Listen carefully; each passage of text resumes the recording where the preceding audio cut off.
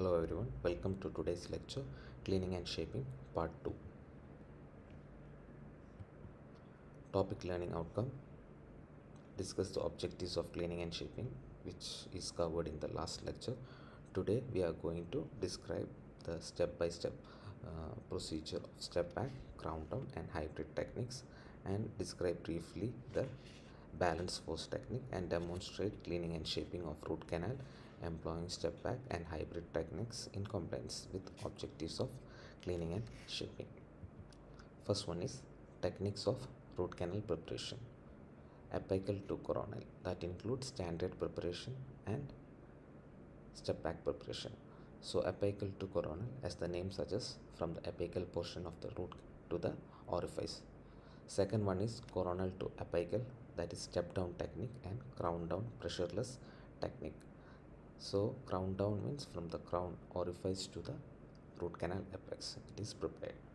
Then the hybrid technique. It's a combination of step back technique and step down procedure.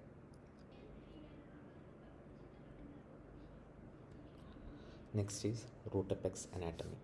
So for the success of the root canal therapy, you should know about the morphology or the anatomy of the root apex.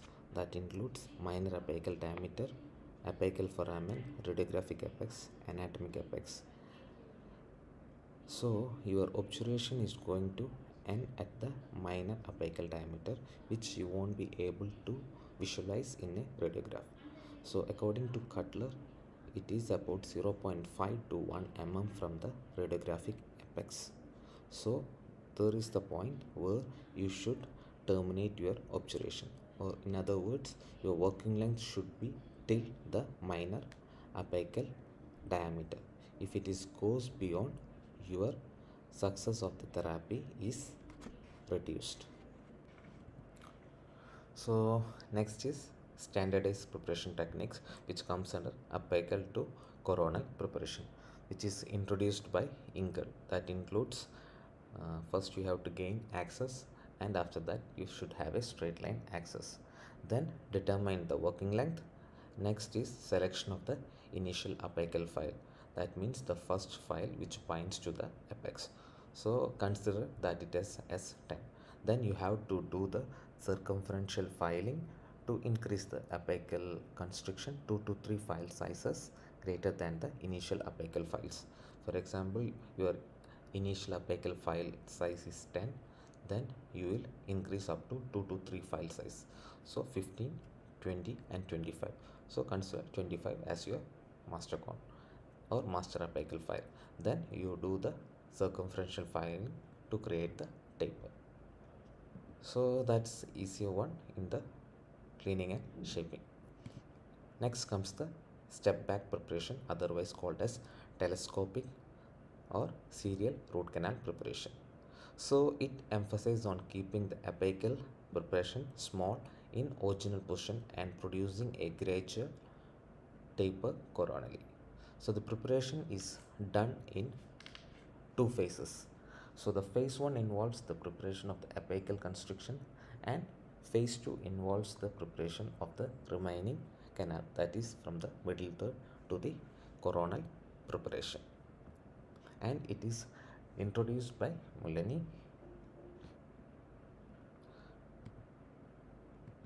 So phase 1 that is the apical preparation up to the file size 25 that's your master apical file to the full working length with recapitulation using prior size files.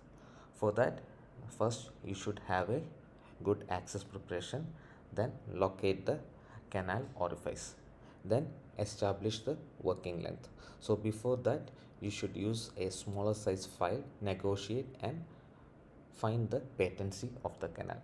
Once the patency is achieved then you have to enlarge the apical part of the canal like 10 15 20 and 25 it is shown in the picture. So consider 20 mm as your working length. Then you have to sequentially enlarge the apical portion of the canal from 10 15 20 and 25 and 25 is considered as your master apical file. That is your phase 1 preparation of the apical portion of the canal. And you have to be really careful. Your coronal reference point remains same when you do the preparation from 10 15 20 and 25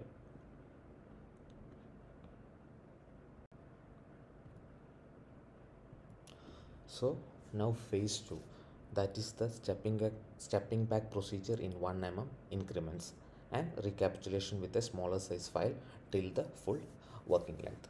So stepping back procedure means once you have decided to go with the 25 size file as your master apical file you take the 30 mm file and reduce your working length to 1 mm that is what we call as stepping back. So your 30 size file is now 19 mm then you do the stepping back cleaning and shaping again with that file size. After that you take the 35 and reduce the working length one more mm that is 18 mm. Again you do the continue the cleaning and shaping with the 35 size file. Then you take the 40 size file and again reduce one more mm that is 17 mm. So your previously your master apical file size was the 25 at a working length of 20 now you have gone up to 40 and your working length is reduced to 17 mm. So you have reduced 1 mm short with each file size up to 40 and you have continued the cleaning and shaping. That is what we call as stepping back procedure in increments. Once you do the stepping back procedure that means you might get a step like preparation in your canal in the picture you can see. So during the course of the stepping back procedure you have to copiously irrigate the canal to take out the debris out of the canal. So you have to irrigate passively with the syringe and needle and take out the debris completely. Once it is done your phase 2 is done. Again phase 2a so your phase 2 got two more phases. That is phase 2a and phase 2b basically called as refining phases. So your stepping back procedure is done with one month increments. So your coronal part is not cleaned properly. So in order to create a space for the coronal portion you take the Gates Glidden number 234 and are used to create the coronal and middle preparation so basically you take your coron uh, Gates Glidden and take it inside the canal and enlarge the coronal or the middle preparation middle canal preparation to refine the canal so that you will get a taper. So that is your refining phase 2a next one is refining phase 2b that includes return to your master apical file that is size 25 and short of the working length take a vertical push pull strokes. So basically in order to smoothen the walls you have created a step like structure over the canal of the apical portion of the canal during the stepping back procedure. In order to smoothen the surface you are going to do a circumferential filing with your master apical file. Make sure your file doesn't goes beyond your working length. That is previously 20 mm so that is the refining phase 2b so coming back to the stepping back procedure first. First one master apical preparation. After that you go for the phase 2 that is the stepping back procedure. This is the important step. 3 5 side you are stepping back and reducing 1 mm. Once it is done you are enlarging the coronal portion with Gates Glidden. Then finally smoothing the steps you created with the stepping back procedure. That is the refining phase 2b with the help of master apical file with the circumferential filing. So what are the advantages? Better tactile awareness keep apical preparation small in its original position and have a gradual taper. Ability to prepare apical stop and avoids zipping. Unnecessary cutting of the apical portion of the tooth. Then coming to the disadvantages. Chances of pushing debris into the periradicular tissue.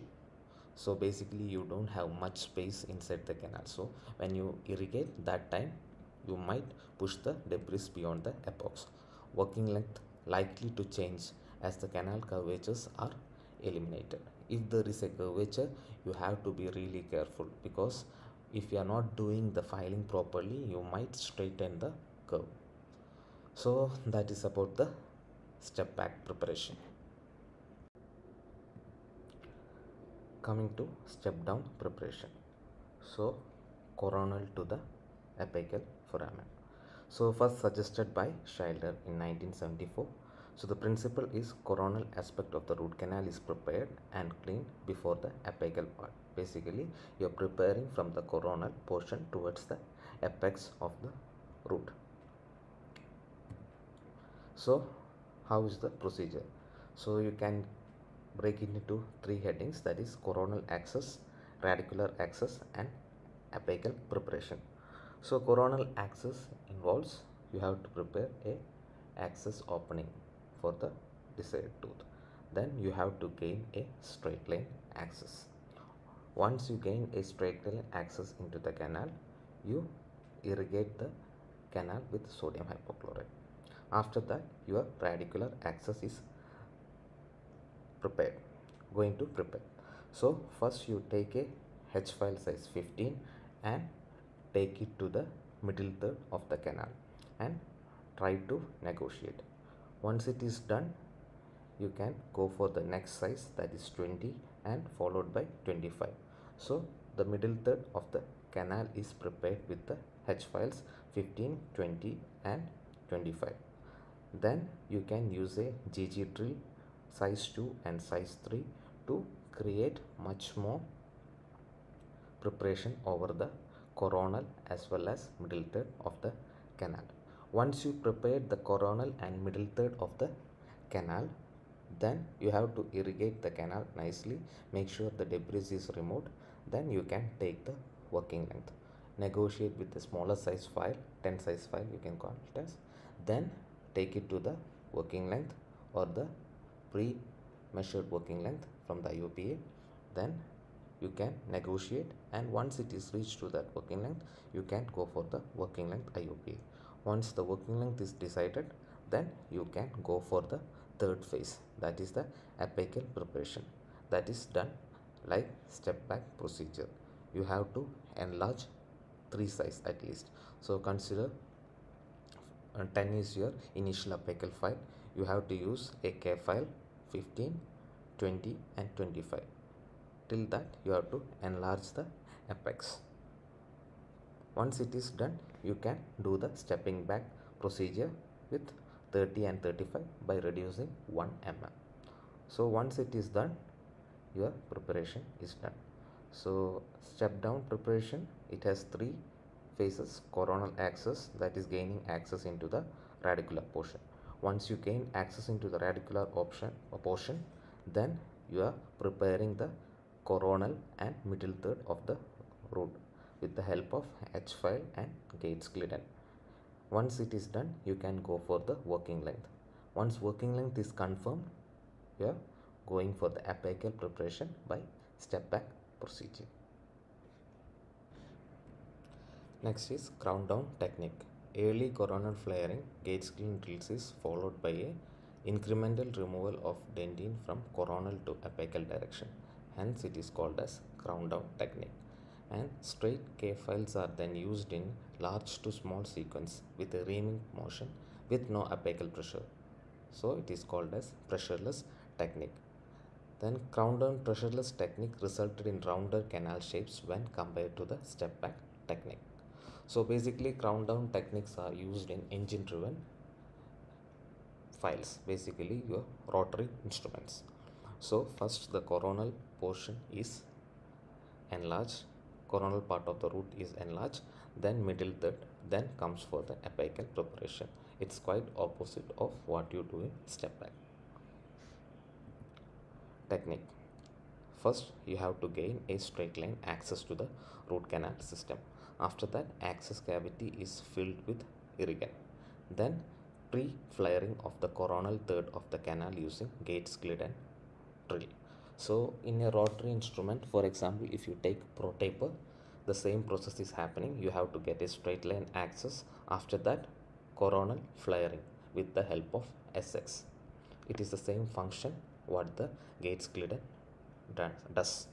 Then comes the establishment of the working length. So for that you have to check the patency of the canal with a small size instrument. It can be 6, 8 and 10. So negotiate the working length with a small size instrument. Then once it is done you can go for the working length establishment with the higher size file either 10 or 15 sometimes if you take it with a 10 size file you won't be able to see in the radiographs. So that it is better to go for the size 15 so preoperative measurement should be taken from the preoperative IOPA then you go for the working length according to the Ingle's method once it is done preparation of the coronal third can be done with the help of larger files so if you talk about protaper you have SX, S1 and S2 which is used for the coronal and middle third enlargement. So preparation of the coronal, coronal third is done with the SX and followed by the preparation of the middle third with the S1 and S2 is done. Once it is done you go for the apical preparation which is commonly in pro protaper the finishing files that is F1, F2 and F3. So the apical preparation of the canal is prepared with the either one of the files and you can decide the width of the canal by using the initial file which binds to the apex of the tooth. For example, normally a 10 size file will bind towards the apex in molars. So you can go up to F1. In certain cases, if the canal is quite big, width of the canal is quite big, you can go for the higher size. So that's about the crown down preparation so you have to get a straight line axis after that you can enlarge the orifice then coronal portion middle third and finally the apical preparation is done that is crown down preparation so a few advantages of crown down techniques are straighter access to the apical portion of the canal and eliminates the dentinal interference from the coronal one third then uh, debris and pulp tissue and microorganisms are removed before apical instrumentation so there won't be any pushing of debris beyond the apex, apex. then allows deeper penetration of irrigating solution and working length is less likely to the change so these are the few advantages of crown down over the step back. Next is balance force technique. So balance force technique it's of step one is after pressureless insertion of a K file the instrument is rotated clockwise that is 90 degrees using only the light apical pressure. Step 2 the instrument is rotated counterclockwise 180 to 270 degrees sufficient apical pressure is used to keep the file at the same insertion depth during this step dentin shavings are removed with a characteristic clicking sound. Then the third step, this step is similar to step 1 and advance the instrument more apically. You have to give a small apical pressure and a 90 degree turn is given. Then the last step that is after 2 or 3 cycles the file is loaded with dentinal debris and is removed from the canal with a prolonged clockwise rotation. That is you can give a 360 turn and take it outside. Then you can see your flutes are filled with dentinal shavings. That is all about the balance force technique coming to the hybrid technique. So hybrid technique as i said it's a combination of step back and crown down technique. It uses both rotary and hand instruments. Hand instruments secure a patent glide path. It is always important to do a glide path before doing any instrumentation inside the canal during cleaning and shaping. Then tapered rotary instruments efficiently enlarge coronal areas and step back is performed till middle third to obtain a continuous taper preparation. So from the coronal portion the canal is made enlarged with a great taper. So you can do a step back easily without any locking of files. So that is about hybrid technique. Coming to the method. So first you have to prepare the axis and you should have a straight line access into the canal like you do for the crown down technique. Once you have the crown straight line access then check the patency of the canal with a smaller size file. After that coronal pre-enlargement with Gates Glidden or you can use the rotary. If you are using a rotary files you can use the rotary file. Then you have to enlarge the coronal surface of the canal. Once it is done establish the working length once was working length is decided you can go for the master apical preparation you do in step back. Once it is done you do the step back apical step back and rotary preparation you can use for the middle third and coronal third of the canal. Then merging of the coronal preparation and the apical step back is done. So basically as i said it's a combination of step back and step down technique. So canal patency is checked. After that coronal enlargement working length is decided. Once working working length is established go for the coronal enlargement and middle third enlargement followed by the apical step back then merge it. That's about the hybrid technique. It's the easiest one so but commonly nowadays which is used is crown down technique and step back technique. Next is general consideration given by american association of endodontics. Initial canal exploration is always performed with a smaller size file to gauge canal size shape and configuration. Basically a 6 8 and 10 should be used initially to check the patency then second, files are always manipulated in a canal filled with an irrigant or lubricant present. Copious irrigation is used between each instrument in the canal. You have to continuously irrigate the canal during the course of cleaning and shaping. Coronal pre-flaring will reduce procedural errors such as loss of working length and canal transportation. Apical canal enlargement is gradual using sequentially larger files from apical to coronal regardless of flaring technique. Then debris is loosened and dentine is removed from all walls on the circumferential filing or with a reaming action at or close to working length. Regardless of technique, after each insertion, the file is removed and the flutes are cleaned of debris the file can then be reinserted in the canal to the plane the next wall so basically the students miss this step. Why i'm telling you most of the time when you do the cleaning and shaping make sure you take out the file from the canal irrigate. Then after that check the flutes remove any debris present with the help of a gauze. Once you remove it then you take the file again into the canal the canal is effectively clean only where the files actually contact and plane the walls. Inaccessible regions are poorly cleaned or debrided.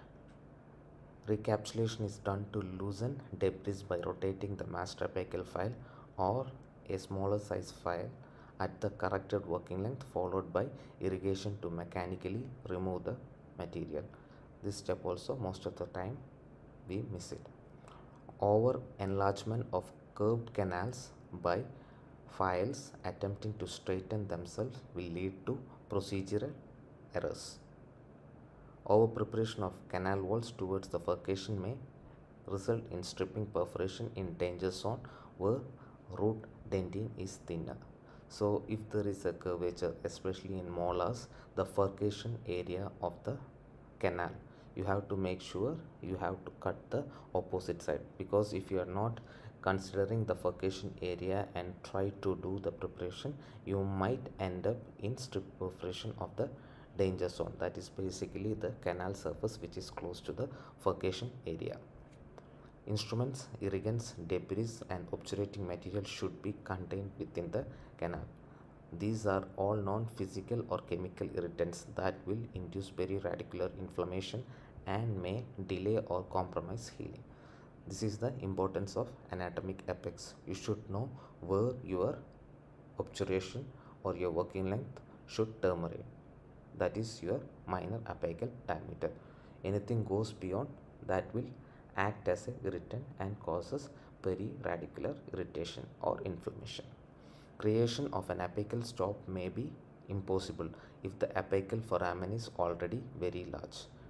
So if there is a blunderbuss canal or the canal apex is too big, always go for the apexification or you have to make sure you have a apical plug. It can be in the form of GP or if it is quite wide you can go for the MTA. Forcing or locking files into dentin produce unwanted torsional force. This tends to untwist, wrap up, either will weaken and break the instrument.